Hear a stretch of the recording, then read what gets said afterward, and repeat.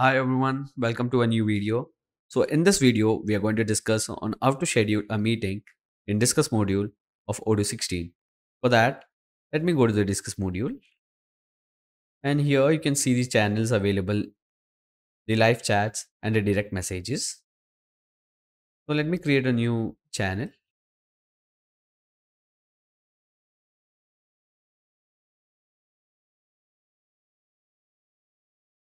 So now I've created a channel here.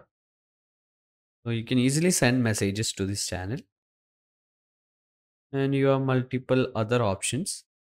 If you want to give reactions to these messages, you can easily give reaction using a smiley or emojis. Or if you want to start this message, you can start this message. If you go to the start, you can see the messages here. So if you want to unstar this, you can easily unstar these messages. Going back to the channel, you want to give a reply to this message, you can give a reply. Or if you want to delete this message, you can easily delete this message from here.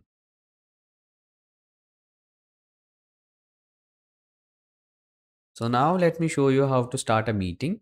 Before that, you need to add users. So let me add some user.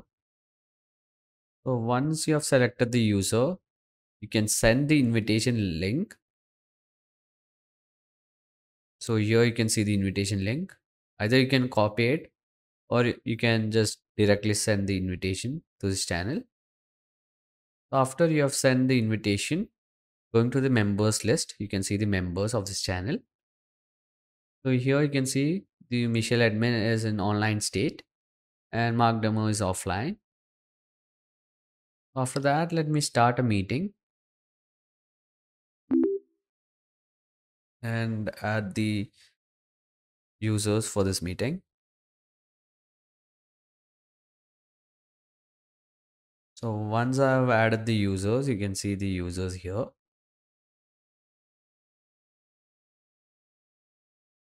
So if you want to make it full screen, you have the option to make it as full screen. Or if you want to share the screen, you can easily share your screen during a meeting from here. You can see I've started my screen sharing. And also you have the option to add description to this meeting from here.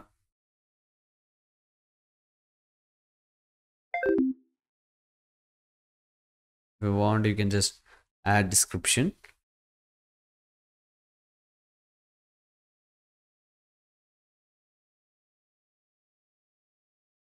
And after that, you can just start a meeting by adding your users.